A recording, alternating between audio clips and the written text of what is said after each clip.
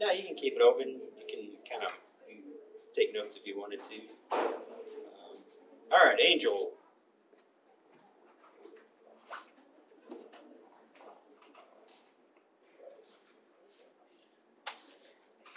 Anthony's here. Tanner's here.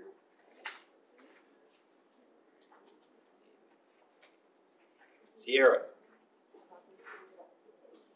It's here. Josh. Elijah's here.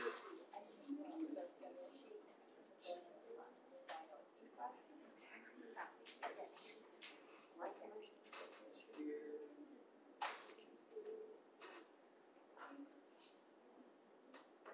Kindle, right? Hey, Trish. All right. How was the uh, homework? I got to thinking last night, last night or, or early this morning. Um, I think what I'm going to need to do is make a document of the common error messages that we see. So that way, you know, you email me, I can say, check the document. Because uh, especially early on, we get the same, we're going to get the same, same error messages. Uh, so I'm going to see what I can do.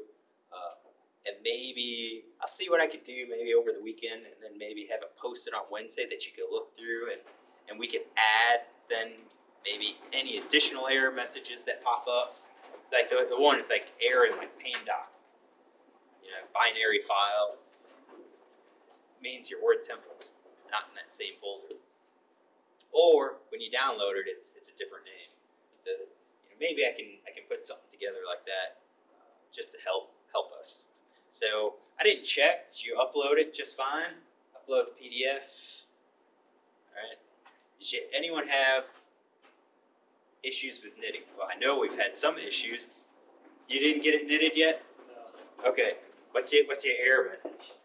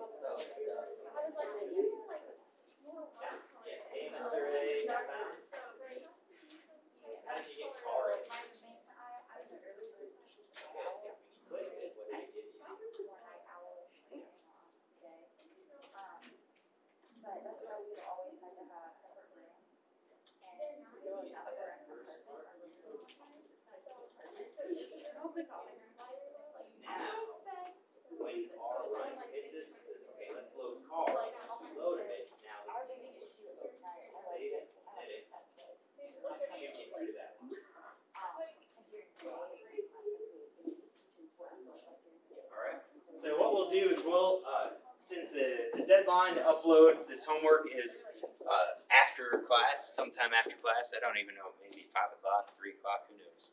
Uh, We can, I can help after class and get the rest of the, the, uh, the errors resolved. Alright, so in the meantime, let's move on. So, uh, this part is going to introduce a lot of definitions. Um, Definitions are a big part of any field. You have to learn the terminology uh, in order to have intelligent conversations. And in this class, you have to know the terminology because that terminology will help you decide what test to run to analyze your data. All right, so we're going to hit up uh, data in biology. We'll talk about samples, we'll talk about data, we'll talk about populations, and then we'll move on to descriptive statistics. Uh, on that open textbook, on OpenStax, this is in chapters one and two. All right, so there's two main fields to statistics. Uh, and remember, statistics is all about collection, analyzing, and interpreting the data. So there's descriptive statistics and there's inferential statistics. Descriptive statistics is all about organ, organizing and summarizing the data. This is all about just collecting the data and then presenting it in some way. So be it a, a graph of some type, be it a table, all right, maybe it's just verbalizing the information. So stating the means, stating standard errors, and so forth.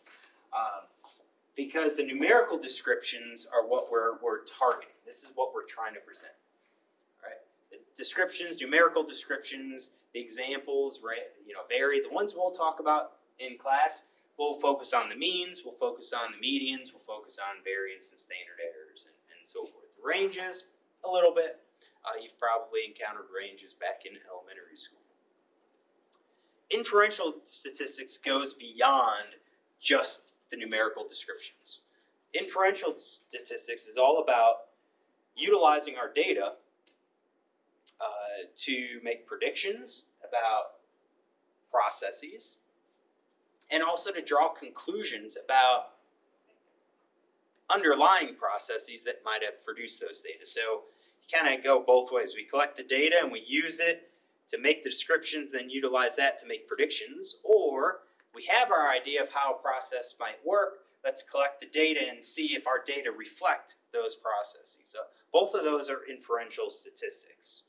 All right. With uh, this inferential statistics, we can assign a confidence level to our conclusions. So we either have low confidence, uh, which means the conclusions are probably wrong, but they could be correct, or we'll have high confidence, uh, which means yeah, we're probably correct, but there is a chance that, that, that we're wrong. Right? We always try to strive for that high confidence level um, whenever we're doing inferential statistics. Now, inferential statistics relies on probability theory. And really properly do this type of statistics, you need to know some math. You need to at least have an understanding of, of the math. So what's probability? Probability is simply uh, the likelihood that an event occurs. This is, if we flip a coin, what's the chance that it comes up head? Well, it's two outcomes, so we have a 50-50, a 50% chance of heads, 50% chance of tails.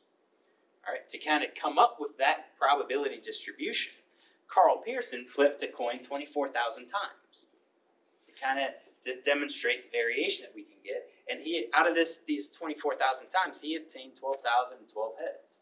Pretty darn close to that 50-50 mark. Notice it's not exactly 12,000, but that's because we have random chance. We have uh, just stochasticity. That's just as an FYI. Uh, can you imagine doing that 24,000 times? I wonder how long it took him to do this. Or rather, I wonder if he actually had a group of graduate students that were doing it for him, and then he refused to put their names on the paper. That's also a possibility. All right. So with our statistics, we are going to be working with samples, and we typically utilize these samples to make predictions about the population. Our population is the universe. Right, that is everything in our universe. We can define it as the totality of individual observations about which inferences are to be made, existing anywhere in the world, or at least within a definitely specified sampling area, limited in both space and time. All right, so could be the entire universe that's out there, or we could confine it to very specific place, very specific time. All right.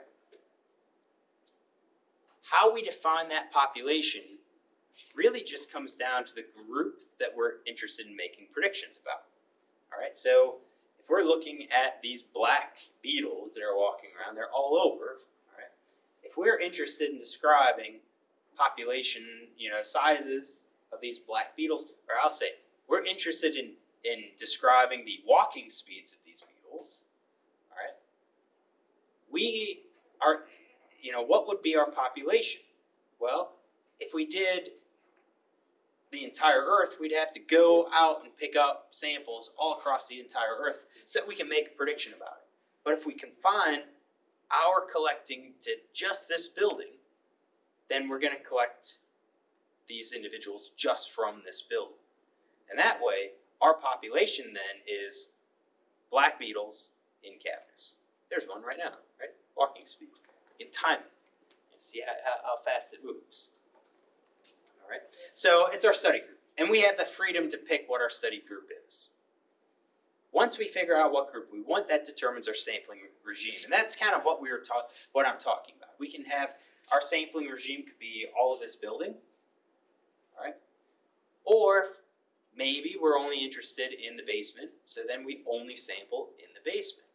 So we want to make sure that where we collect, we're getting a random sample across all of the area where our defined population can be. Our individuals, or is this part of this population, could refer to the individuals itself, like like these beetles, or it could actually be experiments. So you might be thinking, well, how does this apply to, you know, some of the uh, bacterial ex experiments, so the antibiotic resistance screens that perhaps Dr. Crable runs, or you know, some of the virus studies that, that, that perhaps Dr. Uh, runs. Well, it's not all of the viruses, but we could define our populations all the experiments. And you kind of have to think in an abstract sense to say that Dr. Crable runs, let's say, 10 plates. Right? Those 10 plates represent the sample of all of the possible experiments that he could run. He could go back and run 24,000 plates if he wanted to right? But you don't. You take a smaller sample. So don't think just in terms uh, of the population, just in terms of being an organism, an individual. You can think of it as a set of experiments, and that's why we oftentimes do multiple replicates to increase uh, or to reduce the amount of stochastic variation that we have in our data. So with that, most of our populations are finite but we typically assume them to be infinite. So our population of, of beetles here is assumed to be infinite in this, this building, even though we know there's an upper limit. We don't have 10 billion of them in here because we wouldn't be able to walk around. Right? But that makes it useful for us because if we assume to be, if we assume that our population is infinite, then the, the chance of getting any one number is going to be really, really small, which means as we increase our, our sample size, our value should kind of focus on our central tendency, should focus on our mean, our median, and so forth. So there's there's a lot of like statistical probability uh, probability consequences of making this assumption. All right. So whenever we make our numerical descriptors, say mean, variance, standard deviation, median, and so forth, and we make those descriptors at the level of the population, we refer to those as parameters. All right? We, we refer to those as parameters. Samples are used to make the inferences on the population, and it's because it's totally unlikely that we could obtain every single object or every single individual in that population, or that we could do every single possible experiment out there to get our entire range of variation. Reasons too time consuming, can't catch them, you know, you won't see them, not enough money to do this stuff. Reasons reasons vary. But our goal is to get a sample that allows us to make predictions about that population. And this is where our sampling regime becomes very important. In order to make those inferences, we have to have what is called a random sample. All right, a random sample is a sample where the frequencies of each sample equals the true frequencies in our population. So the best way we can we can talk about it is if we had a bag of marbles, all right, we had red red marbles, white marbles in, inside of them. All right, let's say 75% red, 25% white. All right, and let's say there's a million marbles, and what we're trying to do is estimate what, what the percentage of red, red and white are. If we collect a random sample, we're sticking our hand in and randomly pulling out marbles and maybe pull out, let's say, 100. All right? The probability of pulling out any one ball is the same, regardless of its color. As long as that holds, then when we look at our sample, we now have a random sample, and whatever frequency of red we have in that sample could be used to estimate the actual population uh, proportion in, in that bag of marbles. All right. So if we hold this to be true, then it's not just called a random sample, it's a representative sample. And then from here, we can derive our, our, our numerical descriptors. They're no longer called parameters. They're now called sample statistics. And these are the ones that you're probably most, most used to calculating and utilizing. All right, how do we generate our random samples from our population? A couple different ways. One way, if we know the entire population, we just assign each individual number and then randomly draw them. So here's an example. We want to measure the diameter of oak trees. Or we want to know what is the average diameter, the mean diameter of oak trees on this campus. All right? And we say, and let's say we have 10 minutes to do it. 10 minutes to go out, measure, uh, measure a sample and come back. So the question is, how do we, we don't have enough time to go measure all oaks on campus. And I'll give you like a map and say, here's one, here's one, I've numbered them for you. Right, you don't have enough time to do that. So you have to select a sample of oak trees to measure that should approximate the population. Since I numbered all of these individuals, before you go out, you just say, okay, we have 100 oak trees on campus, they're all numbered. Let's go through and pick 10 of them, randomly pick 10 of them, and that serves as our random sample. And you would get that. It's a random sample. Probability that you go out and, and measure that tree is the same as the probability of measuring any other tree in that group. That's one way. Usually, though, you don't have the entire population. You don't know where everyone is. You can't collect them. So at that point, we have to do a couple different things, or we can do a couple different things. One of them is to kind of generate a map on, on the computer, or just kind of sketch out the area, and then have the computer randomly pick points. And then at those points, you establish a grid, and in that grid, that's who you count. So we've taken random points across the landscape, and hopefully we've collected enough to satisfy our sample size requirements. That's our grid method. The other method is we pick a point out in that spot, and then we randomly select a direction and proceed along a straight line, taking measurements on everything, let's say, within an arm's width of that line.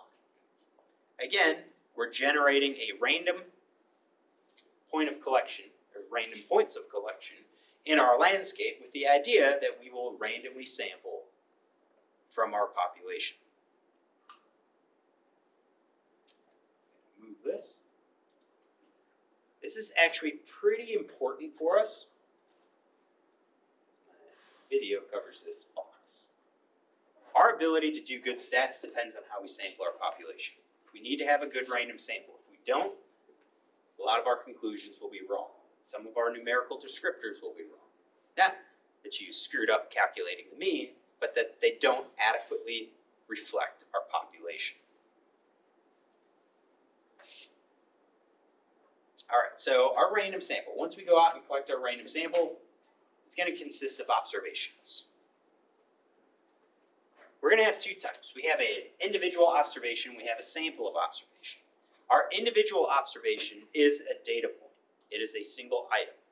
It could be the diameter of the oak tree. It could be a wing length of this single roach. It could be the movement speed of the of that black beetle that was walking across the floor. It's an observation or measurement taken on the smallest sampling unit. And our smallest sampling unit would be the individual at that point. The sample of observation is the collection of all of our individual observations.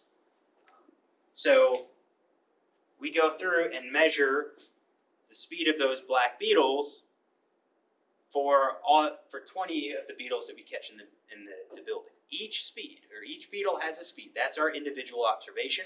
The collection of 20 is our sample of observations. Other terms for that, that's what we we would refer to as our sample. That's our data set. That's our data. In R, that would be our data frame. All right. Well, if our data, it would be at least one column in our data frame, our, our measurement column. All right. So normally when we refer to our sample, we're talking about the sample of observations. That's typically what, what we're what we're talking about. Now, each of our observations consists of a single measurement or attribute variable. We're only going to have one thing. So length of the wing. That's that's one variable. All right. Speed. That's one variable. If we measure more than one variable on the individual, all right, we don't have multiple individual observation er, observations because our smallest sampling unit is the roach itself.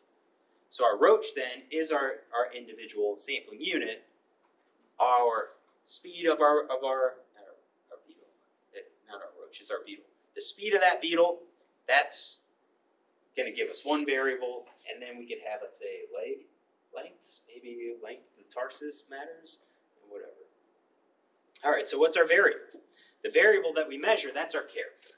That's the actual property that's measured by our uh, individual observations. So speed, wing length, and, and, and so forth typical data set in, in R has a single variable per column. I say typical, and this is going to apply in Excel too. I say typical because that's how you should create your, your data tables. That's how you should enter in your data into Excel. You should always do that. But the exception is if you're going to use Excel to make figures, you tend to have, oftentimes you have to break that in order to, to get the figures to, to look proper. Uh, in R, it's not the case. We need one column per variable. Very important spot. And more than one variable can come from the small sampling unit. Right? Wing lengths, left wing, right wing. Two variables. All right? Same individual. How do we key that into R? Wing length, that's our one variable. All right? Then we have a second variable, which would be a nominal variable. That specifies if that measurement is the left wing or the right. So you'd have another like classification, left versus right. Same thing if we did heights, height, height of class. Right? The height is our measurement variable. That's one column. And then if we broke it down by sex, um, you know, male, female, that would be a second column with that separation. That's how we read it into R. That's how you should set it up. Uh, and again, if you're only doing things in Excel, we might have to break that rule. What's the implication of the small sampling unit? No problem if we only take one me measurement per individual. If we take more than one measurement per individual, what we end up doing is violating one of our major assumptions, which is our, our variables are independent. You're going to see this, this assumption uh, for all of our tests. They all, all of our tests? Almost all of our tests. When we get, we'll get to, we should get to correlation. Those tests are measuring the, the lack of independence. At least that's our, that's our goal anyways. But our t-test, ANOVA, and so forth, our, one, our major assumption, variables are not independent. But if we have more than one variable and we're trying to analyze them together you know, in one statistical test, we violate that assumption. Are there ways to fix it? Yep, there are plenty of different ways to fix it. Just briefly, sometimes you might run across a bivariate sample. What does that mean? It means we violated independence because we took two measurements on the same individual, uh, and that gives us paired observations. Uh, exercise, heart rates before and after exercise, we can do that. You'll see, um, my, I, am trying to remember when the human, human and the man in the environment has their lab, if it's on Monday afternoon or not. If it is, we'll see them at some point. We'll hear them because they're supposed to like take their, their heart rate and then I think run down the hall, run up the stairs, run down the hall, run down the stairs, and then they take it again. Violate independence. Because in theory, if you have a naturally high heart rate and then you exercise, your heart rate should be even higher than everyone else's. So it kind of scales. So bivariate sample are those where you have your paired observations. So as a summary, We've got sample statistics. Those are the statistics from our sample. We're going to utilize those to make predictions or to make inferences about our population parameters. All right? If our sample is a random sample, then we can make this inference of our population. All right? Where did we get our sample? we drew our sample from our population, so you can kind of see how things are related. The other aspect is our sample statistics utilize normal, I'm going to say English letters, all right? English letters for this uh, to represent their sample statistics. So uh, the letter with the bar over top represents our, our average, our mean. S is our standard deviation. R is our correlation. D is typically a difference. Uh, P is our correlation coefficient, oftentimes. Or, I said R is our correlation. P is our proportion, uh, proportion probability. Our population parameters would be referenced as the Greek symbols. All right, so mu is our is our averages is our mean. So there's our mu. Sigma represents the population standard deviation. Rho represents our correlation. Delta is our difference, and then pi represents our percentages or proportions. All right, questions on samples and populations. All right, so let's uh, talk about variables. You know samples and, and populations and how we, we utilize samples to make predictions about the populations, uh, now we need to talk about the variables. When we're interested in doing our measurements and doing an experiment, we need to select a variable whose property is going to differ in some measurable way. Right, that's always our goal. Why? Because we have to have some ability to detect differences and to measure those differences. Right? If everything's the same, if we're doing heights, if we're trying to measure heights and we're measuring it to the nearest meter, all right, we're gonna have, you know, don't, we don't have anyone. Well, I don't know. Tanner's pretty tall we might not have anyone that, that exceeds, you know, let's say two two meters, especially if we round up, I guess. Um, so you know, there's no variation, so we wouldn't we wouldn't choose that. So once we figure out what variable we're going to measure, we have to figure out what type of variable it is. Right? So we can have a qualitative variable, or we can have a quantitative variable. Qualitative variables are non-numeric data that are expressed with their attributes. Uh, they're also called categorical variables. They're called nominal variables. They, they can include ordinal variables. Right? Examples of this would be hair color or sex or nationality. All, right? of these are just attributes. That's all they are. They're qualitative. Nothing's really measured. They're often presented in combination with frequency. So we can say certain frequency has brown hair, certain frequency has red hair, and so forth. All right, and with those frequencies, then we can present them as a figure in a like a bar graph, or we can make a table, which would be a frequency or uh, an enumeration table, which just shows us our counts. Quantitative variables are those that are completely expressed numerically. So I'm going to say the qualitative variables, sometimes we can rekey them to, to express them numerically, but those numbers actually represent an attribute. With the quantitative variables, the numbers actually have a numerical meaning. All right? They actually have a numerical meaning. The 1, 2, 3, 4, 5 actually means that 5 is larger than 1. Whereas if we rekey these uh, in numbers, 5 isn't greater than 4, could be less than four. You know, there's no order. There's no you know magnitude, direction, or anything with those. So with our quantitative variables, we're talking about numbers, measurement variables of some of some type, measurement or count data. Of those, we have continuous variables and discrete variables. Discrete variables are, are the easier ones to, to represent. These values are limited to a very specific uh, state. There's no intermediate value possible. Typically, these are whole numbers uh, because we, you know, counts. Counts, going out there and counting uh, how many leaves are on a bush. That's a discrete variable. You can't have half a leaf. You could, but you don't count. If you look at clutch size, how many offspring individuals have? You can't have half an offspring. It's either an offspring or no offspring. All right, so those are discrete variables. They're also, you may see them uh, listed as discontinuous or meristic. All right, I just use discrete variables. All right, continuous variables are those those numbers, those those measurement variables that can take any value between two fixed points. And that means we can have an infinite number of possibilities. All right, we have an infinite number of possibilities for measuring height in this class.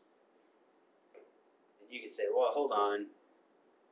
We're, we don't because it's going to be like 60 inches, 60 and a half, 60 and a quarter. But I'm going to change that to decimal and say we could do 60.1, 60.01, 60.001, 60.0000001, all the way.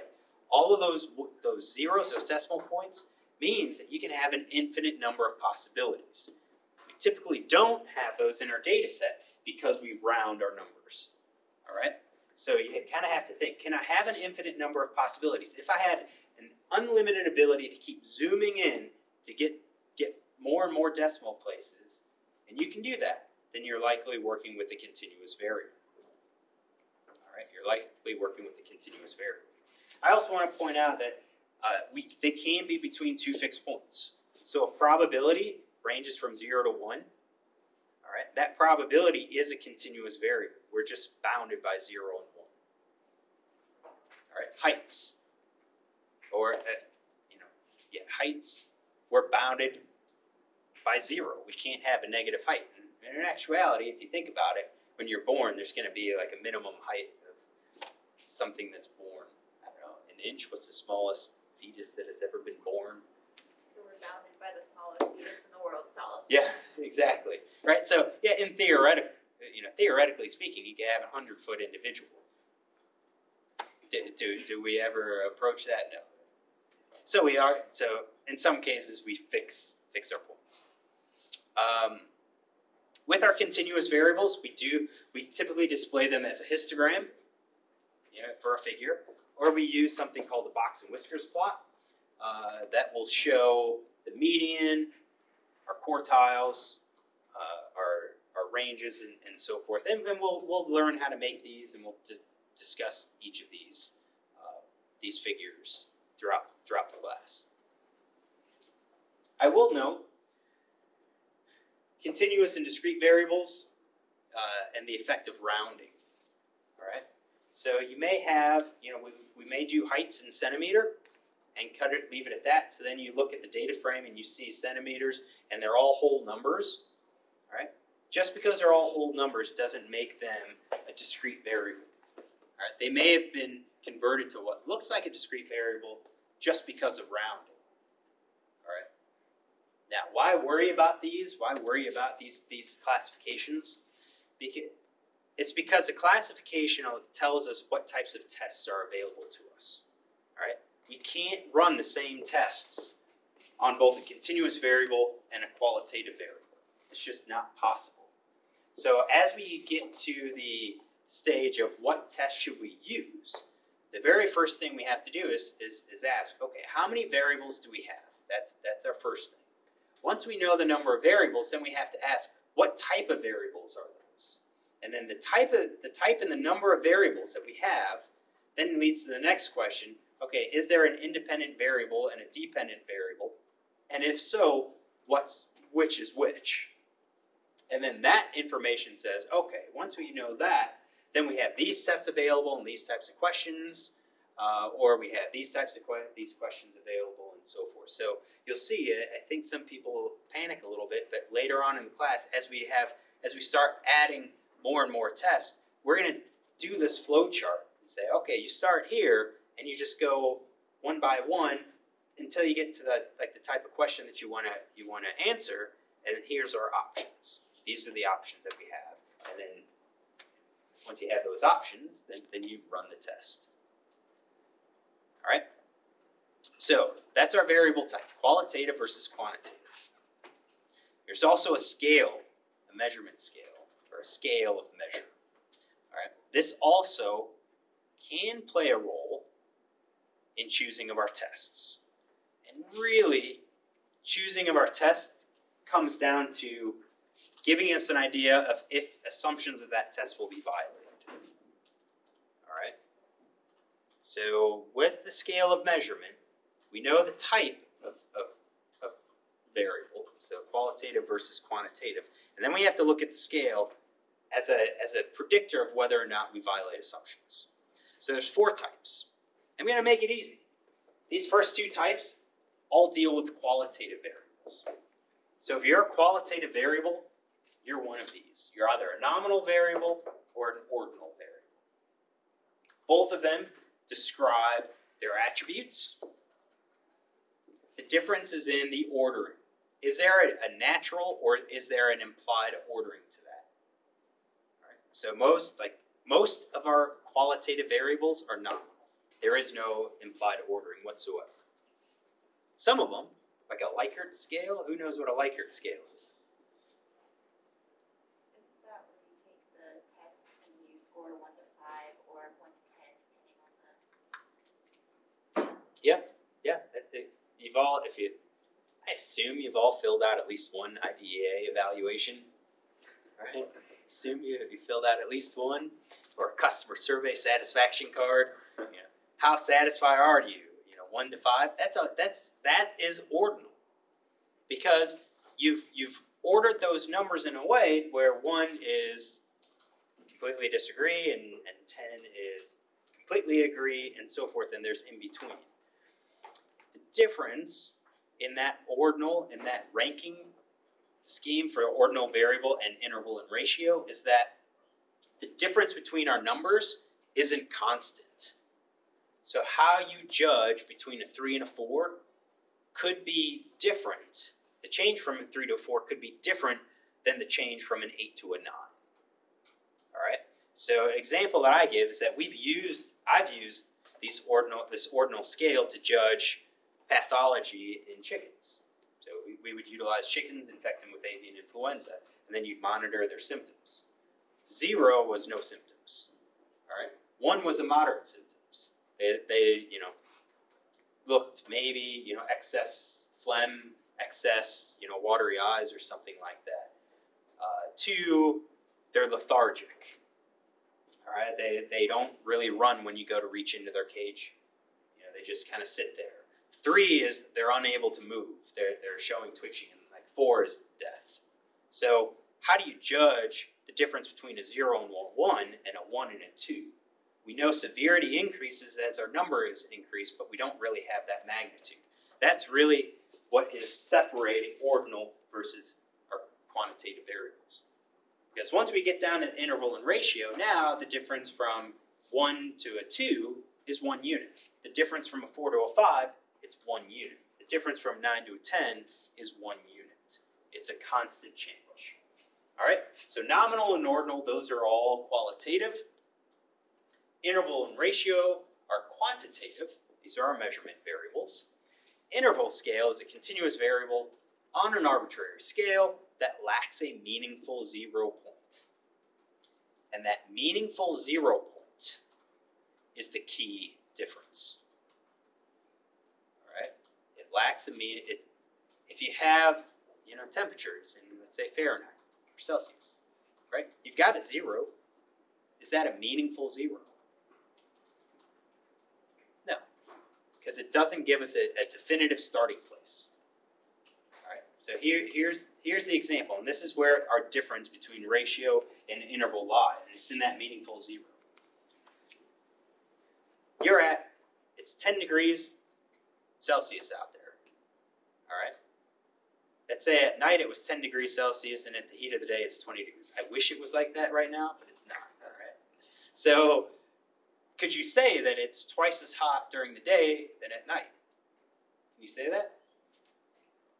10 degrees versus 20 degrees? Yeah, okay. Right? Makes sense. If it was negative 10 degrees and negative 5 degrees, could you say that we were twice as hot? And then again, if it was negative 5 degrees versus 5 degrees, do you say one was twice as hot? There's no meaningful zero on those scales. There's no starting point. So we can't really set up a ratio to say it's twice as hot or it's three times as hot. Sometimes it works. Sometimes we can, we can work if we arbitrarily define that meaningful zero. But along the entire scale, you, you can't do that.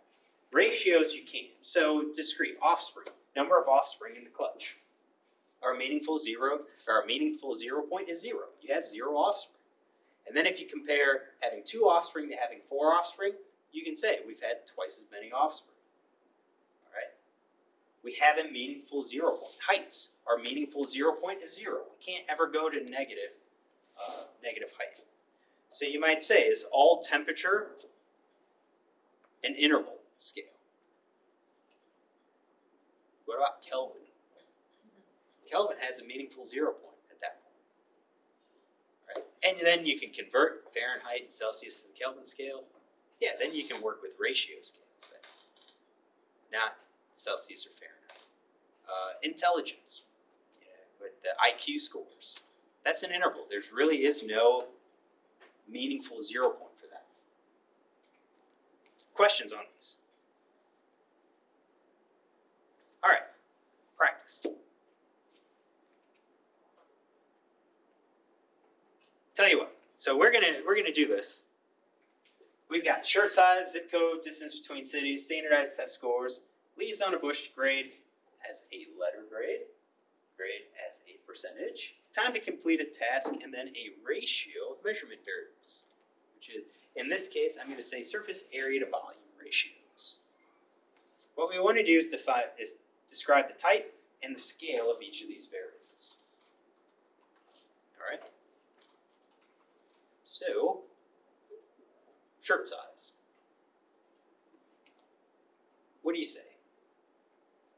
And to avoid complications, we're talking about shirt size on a t-shirt. Small, medium, large, XL, double XL, maybe extra small. So, what's that? Qualitative. Why? Why would you say qualitative? It's descriptive.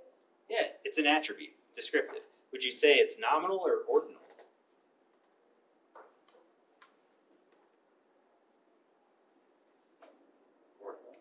I'd say it's ordinal. I think it has an implied ordering that as you move up the scale, it gets larger. All right. Zip code.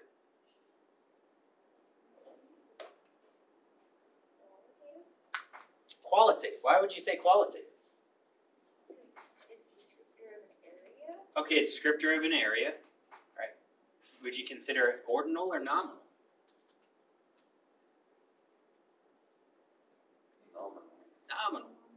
All right. Don't mess that up. A lot of people think zip codes are like continuous. They're, they're just a label. Is there any order? Is is seven six nine zero nine, which is ASU, is that better than seven six nine zero one, which is like Lakeview area? No, it's just a just an area. It's just a classification. Distance between cities. So dis- distance between here and San Antonio. Nominal. Is it qualitative or quantitative? And then what's the scale? Quantitative. We can measure that, right? Ratio or interval? What's that? Interval? Yeah, I'd say ratio. Can't really have negative distance. It'd be zero. Our me- our meaningful zero point is zero. We're kind of bounded by that. So, yeah, I, that's a ratio. And and there, again, the ratio is if we can utilize ratio between numbers and they're consistent across the entire scale. So twice as, as distant holds true regardless where you're at on the scale. That's, that's our ratio. Standardized test scores. So MCAT, GRE, IQs.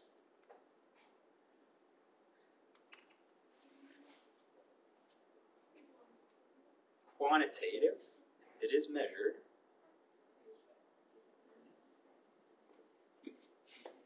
You have to understand the, these scores. So it's, this one's interval. There's really no meaningful zero. There's always, you always get points. I guess i- if you submitted the exam without filling it out, I guess it just gets keyed as incomplete, but I mean, if you have a zero on that test, you're probably dead. yeah, well, yeah, I don't, I don't even know what the lowest IQ recorded is. It, yeah, like forties, yeah, it's, tough, tough to say. And that's kind of what the MCAT and GRE, there's, they kind of scale it based on who, who took it. Leaves on a bush. Quantitative. What kind of quantitative? Would you say discrete or continuous? Discrete. That's a discrete. So don't think too hard on it. It either has the leaf or it doesn't have the leaf. We're not going to say, well, a part of it's missing because an insect chewed it off, or because the water off my roof is damaging all my leaves. Don't, it's, the leaf is there or it's not. So yeah, it's it's discrete. And I should have did that same thing with the distance between cities. Would you say continuous or discrete? Yeah, it's continuous. We can go finer and finer and finer. Uh, grade, letter grades? Say you. Qualitative ordering? Yeah, I'd say there's some order. Difference between an A and B is not the same, or it doesn't need to be the same difference. Just difference between a D and an F. Right? Percentage grade? Yeah, I'd say it's continuous. So we can have unlimited decimal points. Uh, interval or ratio? Is there a meaningful zero? Read that wrong. Yeah, now there might be some faculty that, that would like a negative scale, but we're bounded by zero. All right, we're bounded by zero. Uh, time to complete a task. How long would it take to do the homework? Right, we, we time it. How long does it take to do the exam? We time it. Continuous or discrete? Yeah, continuous. Depends on how fine we get for that timing. Interval or ratio? Ratio. Yeah, definitely. Can't have a negative time. Too bad. Be nice to. Ratio of measurement variables, So surface area to volume ratios. Elijah, take a stab at it. Oh, I mean, that's quantitative, I think. Yep. Continuous or discrete? Um, Just think, can we keep going decimal, more and more decimal places? it's continuous. Yep. All right. Uh, interval or ratio? Probably ratio. I'm sorry, interval. You say interval, you say ratio. Who's correct? Ratio. You can't have a negative, can you? Can we have a zero? So you can have a zero if your surface area to volume is one to one, and that gives. One divided by one? That's one, so. Gosh, okay. We have to be careful with, with something. Surface area to volume is actually interval. because we can't ever have a zero surface area or a zero volume.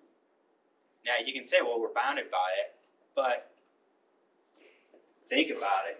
If we have a, yeah, we have a zero surface area, your volume's going to be a zero, and can you have a zero in the denominator?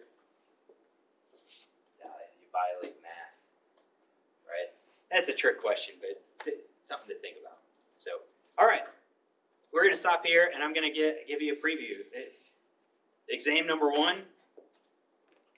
you're going to have to do this. I'll give you give you variables. I actually tell you what to put in each column. So, qualitative, discrete, continuous, and then the second column is the scale. So nominal, ordinal, interval, and ratio. Look over this. Plenty more examples out there. Uh, we'll pick this up. Oh, look at that. Ooh. David, David was typing in his answers in chat. Cool. Yeah, uh, no class on Monday, Labor Day, three day weekend. Um, we'll pick this up on Wednesday. Uh, there will be a quiz coming up. Uh, the quiz will be in class. It'll be a short half page.